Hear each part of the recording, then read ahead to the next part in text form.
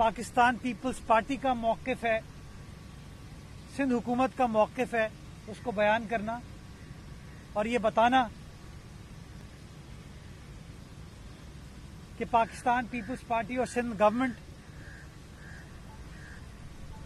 शहीद भुट्टो के ज़माने से लेके, शहीद मोहतरमा बेनज़ीर भुट्टो के ज़माने से लेके, आसिफ जरदारी साहब के दौर से लेकर आज बिलावल भुट्टो जरदारी साहब के दौर में ये समझती है कि कश्मीर पाकिस्तान का हिस्सा है। कश्मीरी आवाम को अकवाम मुतहदा की करारदाद के मुताबिक हक राय दही का मुकम्मल हक हासिल है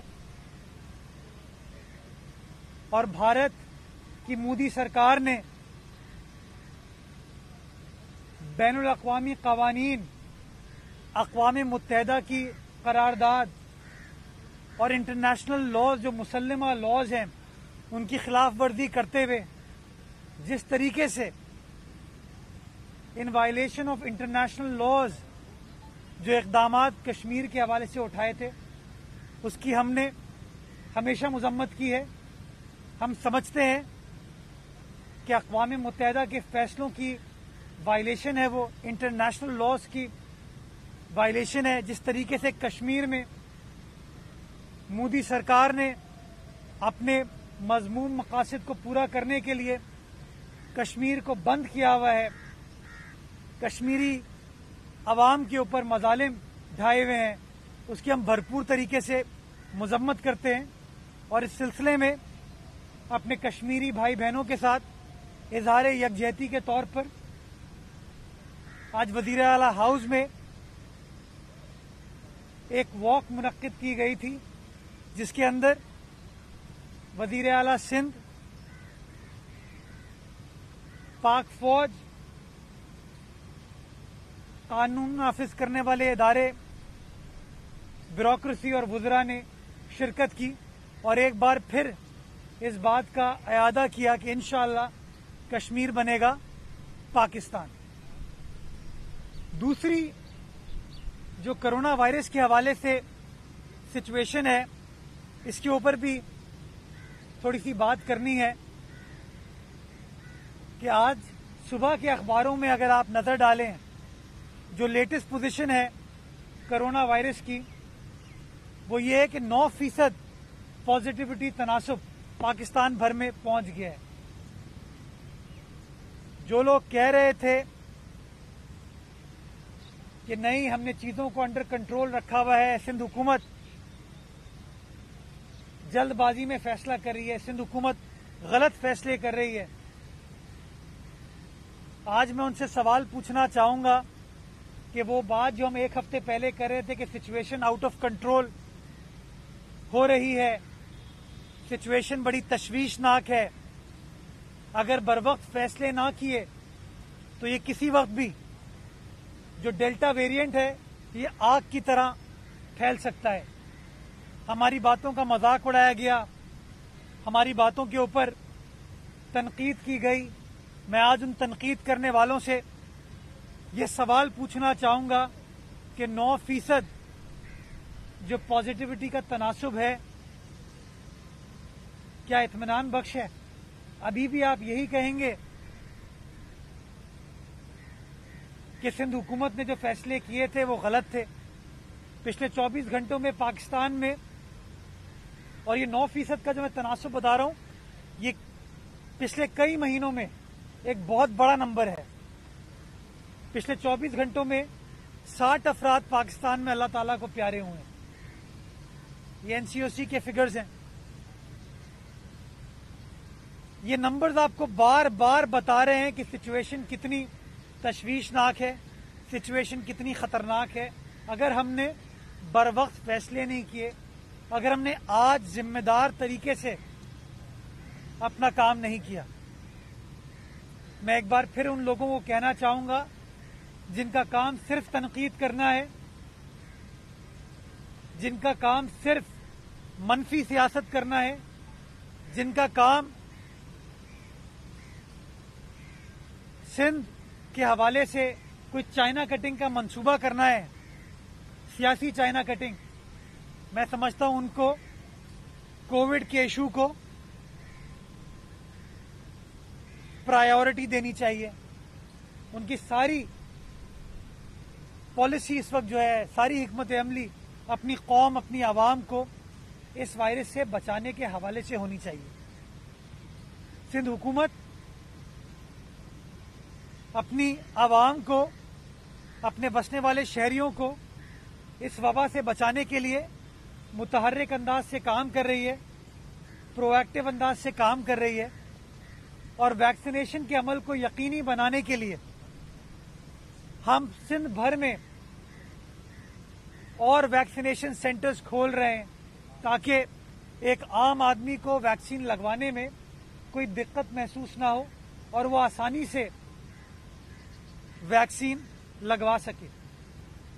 अच्छी खबर यह है कि पिछले 24 घंटों में, सूबाई सिंध में दो लाख नब्बे हज़ार लोगों ने वैक्सीन लगवाई है। चार अगस्त को सूबाई सिंध में दो लाख नब्बे हज़ार लोगों ने वैक्सीन लगवाई है। ये सबसे बड़ा फिगर है। आप सब जानते हैं कि आज से छह सात रोज पहले लोग वैक्सीन के ऊपर इतने कंफर्टेबल नहीं थे। वो वैक्सीन लगवाने के लिए नहीं जा रहे थे। और डेली योमिया कोई पचास साठ हज़ार लोग वैक्सीन लगवाते थे।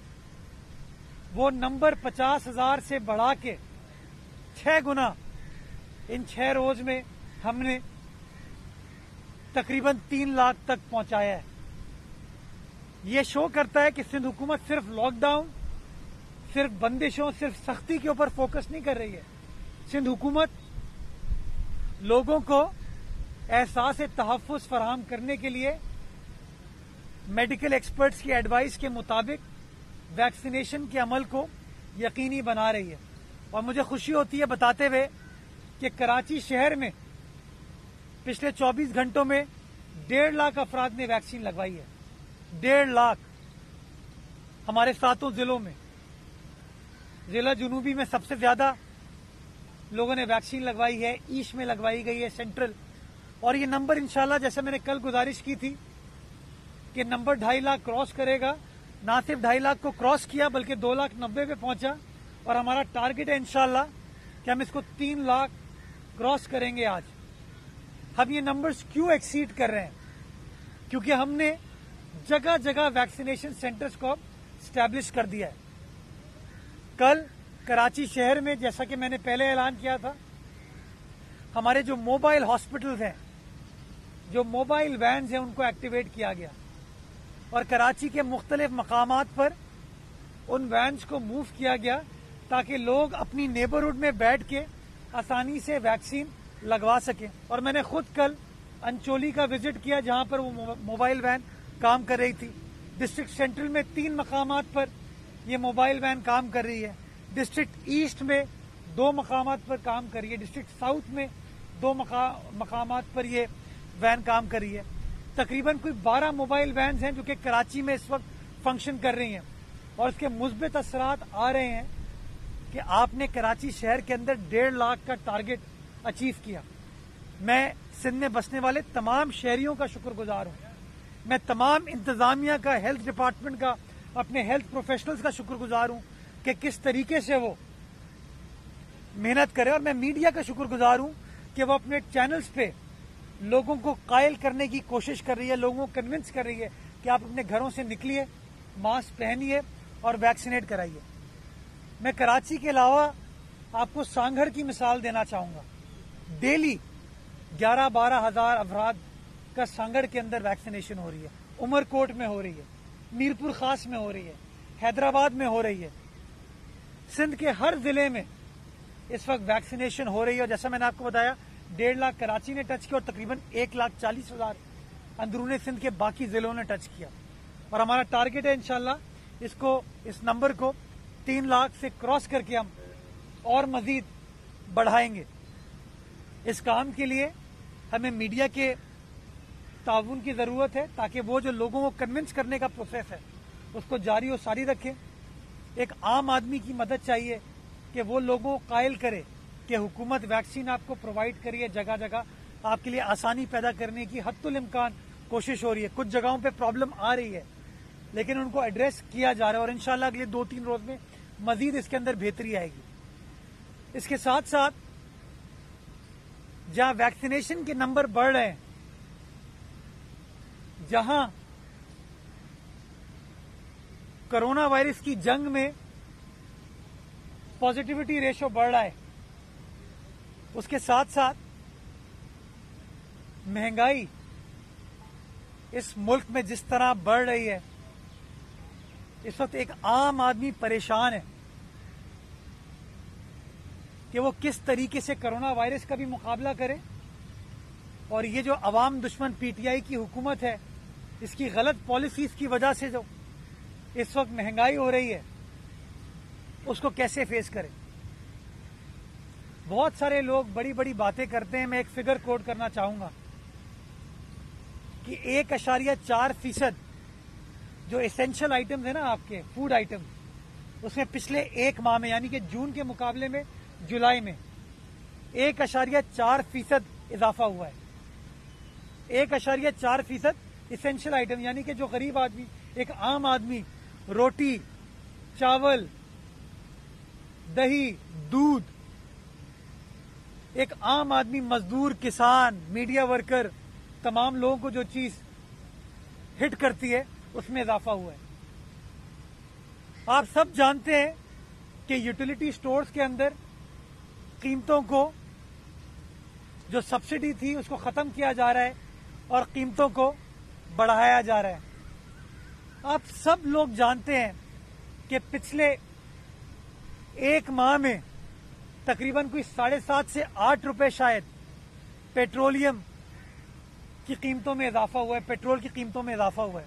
और मैं बार बार कहता हूँ ये कि अगर पेट्रोल की कीमतों में इजाफा होगा तो दाल भी महँगी होगी, दूध भी महँगा होगा, चावल भी महँगा होगा, रोटी भी महँगी होगी।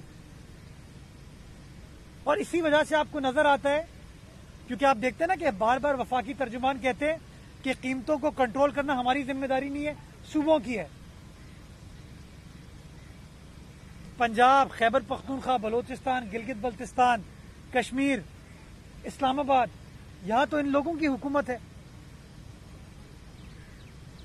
क्यों कीमतें कंट्रोल नहीं हो रही? कीमतें इसलिए कंट्रोल नहीं हो रही कि आप जब पेट्रोल की कीमतें बढ़ाएँगे बिजली की कीमत बढ़ाएँगे, गैस की कीमत बढ़ाएँगे, मिट्टी की तेल की कीमत बढ़ाएँगे, एलपीजी की कीमत बढ़ाएँगे तो उसका जो एंड रिज़ल्ट है, वो आपकी जो एसेंशियल आइटम्स है, उसके ऊपर भी आएगा। और बुग्ज पीपल्स पार्टी में आप ये तो कहते हैं कि कराची में कीमतें कंट्रोल नहीं होती, इसकी जिम्मेदार सिंध हुकूमत है। इस्लामाबाद में अगर कीमतें बढ़ रही हैं तो उसका जिम्मेदार कौन है? अगर लाहौर के अंदर कीमतें बढ़ रही हैं, पिशावर में कोयटा में बढ़ रही हैं, मुल्तान में बढ़ रही हैं, फैसलाबाद में बढ़ रही हैं, उसका जिम्मेदार कौन है? वज़ीर आज़म साहब, जो करोड़ों रुपए की गाड़ी में बैठ के किसी अपने कैमरामैन के साथ इस्लामाबाद की दुकानों का विज़िट करते हैं, इसकी भी तारीख में आपको मिसाल नहीं मिलती कि एक आम आदमी की मुश्किल का अंदाज़ा वो इंपोर्टेड गाड़ी में बैठ के अपनी वीडियो बनवाते हुए वो अंदाज़ा लगा लेते हैं कि आम आदमी इस वक्त मुतमिन है। वज़ीर आज़म साहब, अगर आप सड़क पर निकलें, राजा बाज़ार जाएँ आपारा मार्केट जाएँ तो आपको अंदाज़ा होगा कि एक आम आदमी को क्या मुश्किल दरपेश है। लेकिन बदकिस्मती के साथ, बदकिस्मती के साथ आपकी प्रायोरिटी इस महँगाई के जिन को काबू करना नहीं है, आपकी प्रायोरिटी आज भी सिंध को काबू करना है। आज भी जो अपने मंसूबे आप लोग बनाते हैं, उस मंसूबों का महवर यही होता है कि किस तरीके से हम सिंध के ऊपर काबिज हो जाएँ। और सिंध पर कब्जा करने के लिए वो लोग जो कि माजी में सिलेक्टेड थे, जिनको सिंध की आवाम ने बारहा रिजेक्ट किया और वो अब रिजेक्टेड हैं। और रिजेक्शन की वजह से वो डिजेक्टेड थे। यानी कि माजी के सिलेक्टेड बाद में रिजेक्टेड और अब डिजेक्टेड उन लोगों के साथ आप बैठ के सिंध के लिए मंसूबे बनाने की कोशिश कर रहे हैं। वज़ीर आज़म साहब, अगर आपको मीटिंग करनी है तो आवाम को रिलीफ देने के लिए मीटिंग करें। पाकिस्तान की 22 करोड़ आवाम को आपको मीटिंग करनी है। आप कहते हैं ना, मुझे गरीब आदमी का बड़ा एहसास है, पीटीआई वाले कहते हैं। तो मैं उनसे पूछना चाहूँगा, आपको गरीब आदमी को रिलीफ देनी है? जो आठ, साढ़े आठ रुपए आपने पेट्रोल की कीमतों में पिछले एक माह में इजाफा किया है, उन कीमतों में इजाफे को आप खत्म कर दें। एक महीने पहले की पोजीशन पर ले आए। आप महँगाई को कंट्रोल करने में थोड़ा कामयाब हो पाएँगे। गरीब आदमी को रिलीफ देने में थोड़ा सा कामयाब हो पाएँगे। लेकिन इस बारे में कोई मीटिंग नहीं होती, इस बारे में कोई बातचीत नहीं होती। अफसोस सद अफसोस जी, कोई सवाल जवाब है तो बताइए ये बताइएगा साहब कि आपने कहा कि आ, सिंध हुकूमत को काबू करने का सिंध हुकूमत जीते जिसको काबू करने की कोशिश की जा रही और दूसरी बात ये कि वज़ीर आज़म उन लोगों को जिनको आपने रिजेक्टेड कहा और आप रिजेक्टेड हो गए उनके साथ बैठकर वज़ीर आज़म कह रहा है कि सिंध में मंशियात के खिलाफ ऑपरेशन मरकज करेगा क्या जुए के अड्डे पर वज़ीर आज़म छापे मरवाएगा अच्छा शायद पीटीआई को एक्सपर्टीज है मंशियात के हवाले से। शायद वो जानते हैं चीज़ों को ज़्यादा। इसलिए वो इस तरह की बात कर रहे हैं। आपको याद होगा कि मंशियात को माजी में इन्होंने किस तरीके से पॉलिटिकल विक्टिमाइजेशन के लिए इस्तेमाल किया था। आपको याद होगा कि नून लीग के एक लीडर को गिरफ़्तार किया और इल्ज़ाम लगाया मंशियात के हवाले से। और बड़ी कस्में खाई गई बड़ी बड़ी बातें की गई, लेकिन आखिर में अदालत के अंदर कुछ साबित नहीं हुआ। और उस शख्स को पाबंद सलासल रखने के बाद आपने, आखिर में अदालत ने उसको छोड़ा। तो आप क्यों बार बार इस तरह की साजिशें करने की कोशिश करते हैं? क्यों? आपको नज़र नहीं आता कि इस्लामाबाद में जो लॉ एंड ऑर्डर सिचुएशन की आप बात कर रहे हैं, उसको हम तो सूबाई सिंध में कंट्रोल कर रहे हैं। आपको नज़र नहीं आता इस्लामाबाद में, आपके इस्लामाबाद में, जहाँ आपकी डायरेक्ट हुकूमत है, वहाँ पर नूर के साथ क्या होता है? किस तरह का, किस तरह की बेईमाना कार्रवाई कर दी जाती है? क्या वज़ीर आज़म को नहीं पता कि कल रहीम यार खान में क्या हुआ है? क्या वज़ीर आज़म को नहीं पता कि पिछले दिनों डेरा गाजी खान के कच्चे के डाकुओं ने क्या किया था? खुदारा, हुकूमत को आईनी अंदाज में चलाएँ, आहनी अंदाज में ना चलाएँ। हुकूमत, आईने पाकिस्तान, इख्तियारात को बड़ा क्लियरली मेंशन करता है कि वफाक की क्या रिस्पॉन्सिबिलिटी है और सूबे की क्या रिस्पॉन्सिबिलिटी है। लॉ एंड ऑर्डर मेंटेन करना सूबे की रिस्पॉन्सिबिलिटी है। अगर आप सोच रहे हैं कि जिस तरह माजी में आपने नैब के ज़रिए और एफआईए के ज़रिए यहाँ पर पॉलिटिकल विक्टिमाइजेशन की है तीन सालों में, और आप नाकाम हुए, आपने देखा कि उस विक्टिमाइजेशन ने ना सिंध के लीडरान की और ना सिंध के अवाम के हौसले खत्म कर पाई। तब आपने कहा कि मैं नैब के साथ एफआईए एफआईए के साथ एएनएफ को भी इस्तेमाल करूँगा इस काम के लिए। वज़ीर आज़म साहब, आपको मीटिंग करनी है तो लोगों को रिलीफ देने के हवाले से मीटिंग करें। आपको मीटिंग करनी है तो कराची की आवाम से जो आपने वादा किया था, एक अरब रुपए का और बाद में ग्यारह अरब रुपए का, उसके हवाले से बताइए कि कब वो तमाम चीज़ें होने जा रही हैं। क्योंकि अभी तक जो आप इफ्तः कर रहे हैं वो तो माजी की हुकूमतों के स्टार्ट किए हुए मनसूबों का कर रहे हैं। और अगले भी कुछ दिन में जो इफ्तः करेंगे वो भी वही इफ्तः होंगे जो कि माजी की हुकूमतों ने स्टार्ट किए थे। अच्छा आपने ज़िक्र किया महँगाई हो गई है वजरा तो हुकूमत तो कहती है कि मुल्क में सबसे ज़्यादा कारों की फरोख्त हुई है। आम आदमी बड़ा खुशहाल है सारी कारें जो आम आदमी खरीद रहा है। महँगाई है कहाँ पर? पाकिस्तान का मजदूर अब गाड़ी खरीद रहा है। पाकिस्तान का किसान अब गाड़ी खरीद रहा है।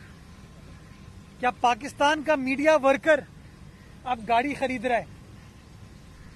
अगर गाड़ियाँ कोई खरीद रहा है तो वो एटीएम जो है इन लोगों की, वही पैसे की रेल फेल है जो इतनी, ये लोग माशाल्लाह अरबों रुपए की टीके लगाते हैं पाकिस्तान की मीशत को, जिसका नुकसान एक आम आदमी को होता है। वज़ीर आज़म साहब आपको लोग मिसगाइड करते हैं। जनरल मुशर्रफ भी इसी तरह की बात करते थे कि मेरे दौर में इतनी गाड़ियाँ बिक गई, इतनी मोटर बाइक्स बिक गई, कितनी खुशहाली आ गई। ये बैरोमीटर नहीं होता, ये बेंचमार्क नहीं होता। बल्कि माजी की हुकूमतें जब स्टॉक एक्सचेंज की भी मिसाल देती थी ना तो आप लोग कहते थे कि स्टॉक एक्सचेंज बैरोमीटर नहीं होता। मैं आपको कहूँगा प्लीज़ चले जाइए एफ़ सिक्स एफ़ सेवन की मार्केट आप आपारा मार्केट चले जाइए। राजा बाज़ार चले जाइए, कराची आ जाइए लियाताबाद चले जाइए। आपको अंदाज़ा होगा कि इस वक्त पाकिस्तान के आम आदमी, आपकी पैदा करदा महँगाई में पिसे हुए जो इस्तेसाल एक गरीब आदमी के साथ, मिडिल क्लास के साथ, आपके दौरे हुकूमत में, आपके इकतदार में हो रहा है, ये अनप्रेसिडेंटेड है, इसकी मिसाल नहीं मिलती। और बजाय इसके बजाय इसके कि आप उनको रिलीफ दें, आप कहते हैं गाड़ियाँ महँगी हो रही मैं तो ये सवाल पूछना चाहूँगा, पेट्रोल आपने इतना महँगा कर दिया है, उस गाड़ी में लोग पेट्रोल कैसे डलवाएँगे? वो गरीब आदमी मोटर बाइक में पेट्रोल कैसे डलवाएगा? तो जरा खुदा का वास्ता है, अपनी बातों में तो एहसास है, अपने ऐलानात में तो एहसास है, अपने काम, अपनी काविशों में, अपने इकदाम में एहसास पैदा कीजिए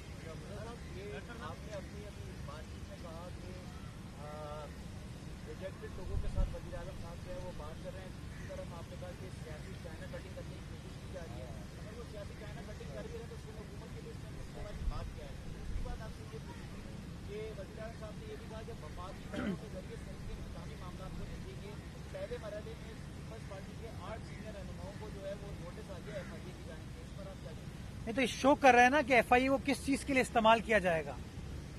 ये तो शो कर रहा है कि ये पॉलिटिकली मोटिवेटेड हरकत के लिए तमाम चीज़ें कर रहे हैं। मुझे कोई फ़र्क नहीं पड़ता कि उन सियासी यतीमों को वज़ीर आज़म वज़ीर आज़म हाउस बुलाएँ, उनको चाय पिलाएँ। अरबाब गुलाम रहीम साहब, जो कि थर के एक जमाने में बादशाह कहलाए जाते थे, वो 2013 में हारे 2018 में हारे फिर 2020 में उमरकोट का रुख किया उन्होंने। और उमरकोट से इलेक्शन लड़ने की कोशिश की। इलेक्शन लड़ा उन्होंने। क्या हुआ? पाकिस्तान पीपल्स पार्टी के हाथों हार गए ना? तो इन चीज़ों से कोई फ़र्क नहीं पड़ता। मैं कहता ना, हमारे मुतहदा कौमी मूवमेंट के लोग कह रहे हैं कि जी कराची को कोरोना की वजह से आफत ज़्यादा डिक्लेयर कर दिया जाए। तो क्यों ना वज़ीर आज़म ये ऐलान कर दें? बड़ा एहसास है उनको लोगों का। बड़ा एहसास है मेरे कराची का उनको। हमारे कराची वालों का। तो कर दें आफत ज़्यादा डिक्लेयर वज़ीर आज़म वो आदमी है, जब सैलाब आया था ना सूबा सिंध में, जब उमरकोट, मीरपुर खास डूबा हुआ था तो वज़ीर आज़म ने तो वहाँ का रुख नहीं किया। लेकिन मैं मुतहदा कौमी मूवमेंट के दोस्तों से पूछना चाहूँगा, माजी में तो आप बार बार हुकूमत छोड़ देते थे। पेट्रोल की कीमत बढ़ी और आपने हुकूमत से अलहदगी का ऐलान कर दिया। तो यहाँ तो पेट्रोल की कीमतों में एक बार नहीं कई बार इजाफा हो रहा है। वज़ीर आज़म ने कराची के हवाले से कई वादे किए, उसने यू टर्न ले लिया। सेंसिस के ऊपर आपकी बात नहीं सुनी गई, वफाक ने। हमने तो आप अपने मुकदमे से हट गए। हम पीपल्स पार्टी सिंध हुकूमत उस मुकदमे के साथ खड़ी रही और आज भी खड़ी है। सेंसिस के ऊपर आप अपने पैरों पर खड़े नहीं हुए। लेकिन हाँ चलें। कल परसों आपने ऐलान किया है कि कराची के टैक्स को माफ़ कर दिया जाए। हमारे ताजिर भी बार बार आके कहते हैं, सनतकार भी कहते हैं। तो चले, वफाकी हुकूमत को आप कहें ना कि भाई टैक्स माफ़ करो कराची के, वरना हम हुकूमत से अलहदगी इख्तियार करते हैं। लेकिन नहीं, ऐसी बात आपको होते हुए नज़र नहीं आएगी।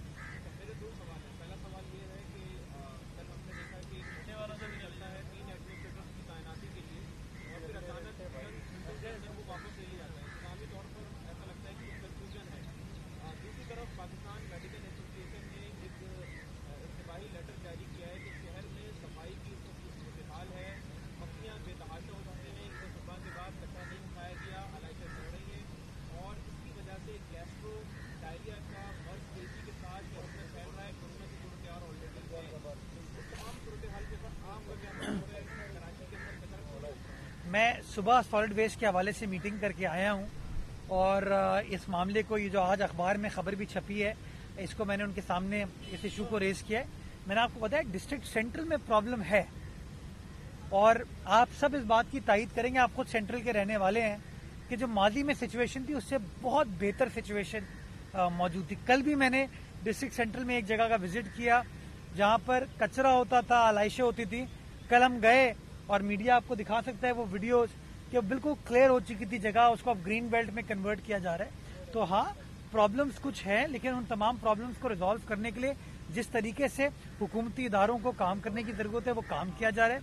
जो एडमिनिस्ट्रेटर्स की तैनाती होती है, ये एक सियासी मामला है, कानून के मुताबिक किया जाता है। तो इंशाल्लाह उसको सियासी अंदाज से, इंतजामी इंतजाज से हल कर लिया जाएगा। ये नया पाकिस्तान हाउसिंग स्कीम के हवाले से सिंध में कोई एक ज़मीन इंच भी नहीं दी जा रही और सिंध हुकूमत ने भी कोई ऐसा प्रोजेक्ट नहीं किया जिससे गरीब आदमी अपना घर बना सके इसकी क्या वजह है दूसरा वैक्सीनेशन सेंटर को आप कह रहे हैं बड़ा भी है वहाँ वैक्सीनेशन हो भी रहे तीन तीन लाख की लेकिन वहाँ पर वैक्सीन की किल्लत का भी सामना है अब सिर्फ़ मौलाना और वैक्सीन लगा रहे हैं बाकी वैक्सीन खत्म हो गई है वो क्राइसिस क्यों खत्म हुई है ये नहीं मैं थोड़ा सा इससे डिसग्री करूँगा। देखिए, दिन में अगर तीन लाख अफराद को वैक्सीन लग रही है, एक बहुत बड़ा नंबर है ये। और अगर कराची शहर में डेढ़ लाख अफराद को एक दिन में वैक्सीन लग रही है, उसको मैनेज करना डिफ़िकल्ट होता है। लेकिन इम्पोर्टेंट चीज़ क्या है कि हाँ डेढ़ लाख अफराद को वैक्सीन लग रही है। अब होता ये है कि हर जगह को डेली वैक्सीन एलोकेट की जाती है बिकॉज़ वैक्सीन को स्टोर करने का भी एक मैकेनिज्म होता है। हम नहीं चाहते कि वैक्सीन खराब हो वैक्सीन जाया हो। अब वैक्सीन, लेट से आपको ये वैक्सीन की सौ खुराकें मिली। और आपके पास 200 बंदे आ गए वो वैक्सीन लगवाने के लिए। तो सौ ही लग पाएँगी ना आपको। ये प्रॉब्लम होती है जिसकी वजह से तो हम कोशिश कर रहे हैं कि जिन जिन जगहों पे, जिन जिन सेंटर्स पे इस तरह की डिफिकल्टी आई है, बिलखसूस साइनोवैक के हवाले से, उन सेंटर्स की साइनोवैक की जो डेली की खुराक है, उसमें इजाफा करें, सप्लाई में इजाफा करें, ताकि मजीद इस तरह की दुश्वारी न आए। बट प्लीज़ आप लोगों को इस बात का एहसास होना चाहिए कि तीन लाख अफराद को एक दिन के अंदर, सूबाई सिंध के अंदर, यही हुकूमत, यही हेल्थ वर्कर्स यही हेल्थ डिपार्टमेंट वैक्सीनेट कर रहा है और इंशाल्लाह इस नंबर को मजीद हम और आगे लेके जाएँगे। जो जो जो हाउसिंग वाली बात है, इनका मकसद ही ज़मीन है। आपको याद होगा सुप्रीम कोर्ट ऑफ़ पाकिस्तान का भी एक फैसला आया था रेलवे के हवाले से। कि वज़ीर रेलवे आए थे कराची, गवर्नर हाउस में उन्होंने शायद रेलवे की जमीनों को, की बंदरबाट के लिए कोई मीटिंग भी की थी। तो ज़मीन तो वफाक के पास बहुत मौजूद है। सिंध की ज़मीन के ऊपर जो काबिज है, पोर्ट कासिम भी है, केपीटी भी है, रेडियो पाकिस्तान भी है, सिविल एविएशन भी है, पाकिस्तान रेलवेज भी है। ज़मीन तो बहुत है। लेकिन अगर आपका मकसद होता गरीब आदमी के लिए नया पाकिस्तान हाउसिंग स्कीम के तहत घर बनाना तो शायद आपके वज़ीर रेलवे गवर्नर साहब के साथ मिलके उन गरीबों के लिए हाउसिंग स्कीम का सोच रहे होते। लेकिन उन्हें मुलाकात किसी गरीब से नहीं की। उन्होंने मुलाकात उन सरमायादारों से की, ताकि मुस्तकबिल की सफ बंदी हो सके, मुस्तकबिल की एटीएम्स को सिक्योर किया जा सके। जी। ये कर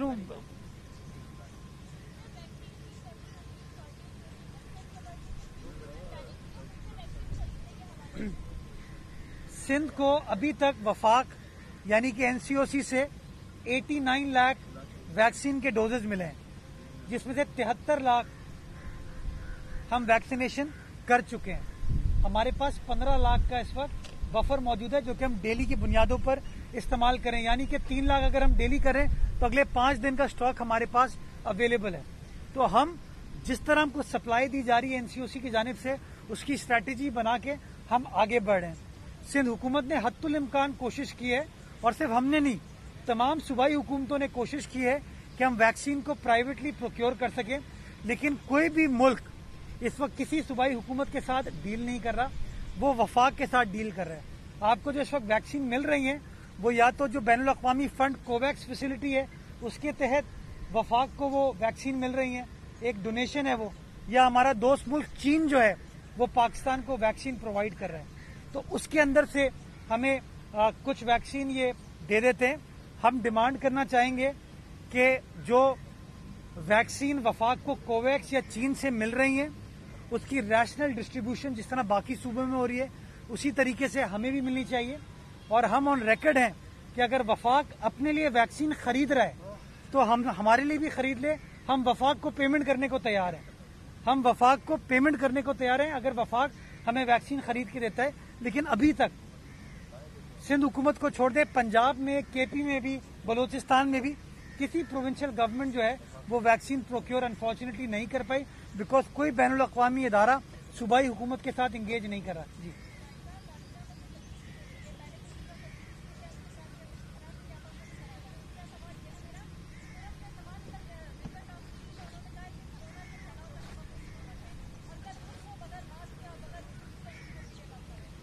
तो आपने अपने सवाल में जवाब दे दिया।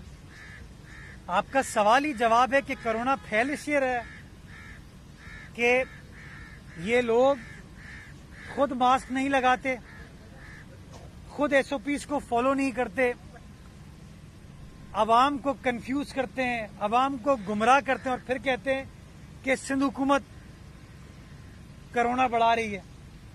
जो समाजी महफिलें इन लोगों की हैं कुछ महफिलें जो कि रिकॉर्ड पर आ चुकी हैं।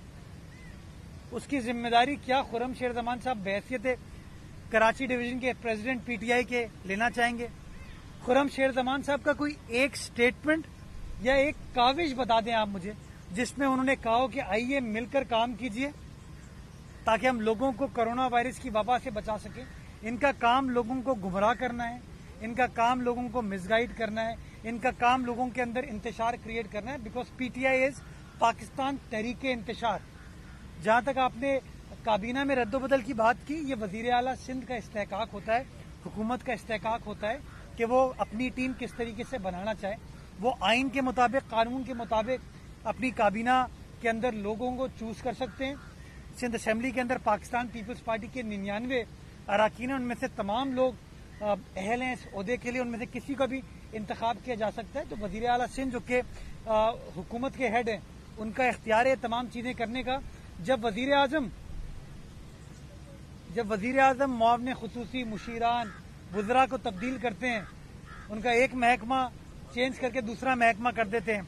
सुबह को एक वज़ीर होता है, शाम को दूसरा वज़ीर हो जाता है। क्या उसकी ज़िम्मेदारी आप फिर वज़ीर आज़म के ऊपर आयद करेंगे? अच्छा ये बता दें, आपने तनकीद करी कि वफाक जो है वो मनशियात के नाम पर कोई ऑपरेशन सिंध में करना चाह रहा है। तो सिंध की हालत तो इस वक्त ये है कि गली गली मनशियात बिक रही है लियारी से लेकर कश्मीर तक आप देखें तो सूरत हाल ख़राब है। दुबई हुकूमत ना खुद कुछ कर रही है ना उनको कुछ करने दे रही है। नौ अफराद आपके जो पीपल्स पार्टी के रहनुमा है उनको नोटिस एफ़ आई ए वगैरह के इन्वॉल्व किया गया है। ये बता दें कि आप लोग भी तो कुछ नहीं कर रहे करप्ट लोगों के खिलाफ कोई कार्रवाई आपके क्या उन, उन एक क्या उन नौ अफराद के ऊपर कोई करप्शन का इल्ज़ाम है? क्या नौ अफराद के ऊपर कोई मंशियात का इल्ज़ाम है? अगर है तो बता दें। उन नौ अफराद के ऊपर जो एफआईए ने ये नोटिस भेजे हैं, जो साइबर क्राइम के हवाले से कोई बात की जा रही है, इसका मंशियात से क्या लेना देना है? इसका करप्शन से क्या लेना देना है? तो खुदारा वो फैसला करें जिसकी कोई मंतक समझ आए। और एएनएफ तो ऑलरेडी सूबह सिंध में काम कर रही है। हमने अभी अपने मंशियात के कानून को तब्दील किया है, क्योंकि मंशियात में प्रॉब्लम ये आ रही है कि अब, माशाल्लाह, नई ड्रग्स आ गई हैं। आइस कोकेन ज़्यादा नाम पता होंगे पीटीआई वालों को, मुझे नाम कम पता है। तो ये जो नए मॉडर्न सिंथेटिक ड्रग्स आ गए हैं, इसका कानून अवेलेबल नहीं था। पिछले दिनों, सिंध हुकूमत ने सिंध असेंबली से इसका नया कानून मंजूर कराया। मैंने खुद खत लिखा आईजी साहब को भी, डीजी रेंजर्स को भी और डायरेक्टर एएनएफ को भी कि हमने कानून साजी कर ली है आपको ताकतवर बनाने के लिए कि आप कार्रवाई करें। और उसके बाद आपको कार्रवाई होते हुए नज़र आई है। तो जो चीज़ें वज़ीर आज़म सोच रहे हैं ना अभी, जिसके ऊपर वो मशावरत कर रहे हैं, लोगों के साथ, जो एक्सपर्ट्स हैं शायद ड्रग के बारे में, मंशियात के बारे में वो तमाम इकदाम तो सिंध गवर्नमेंट उठा चुकी है। सिंध गवर्नमेंट ऑलरेडी उनके ऊपर काम कर रही है। जी। सर आज होने जा रही है काबीना के अंदर। क्या वजह और क्या सवाल? जी जी बोले बोले बोले। पूछे पूछे। पूछे पूछे सर पूछे। मैं हाजिर सर हाजिर। इमरान न्याजी के बाद कश्मीर में भी कयूम न्याजी साहब यार न्याजी है या एन है? ये ये मुझे नहीं पता पता नहीं कौन सा इनका वजीफा है कि बहुत सारे पीटीआई में लोग ना अपना नाम अब तब्दील कराने की कोशिश कर रहे हैं।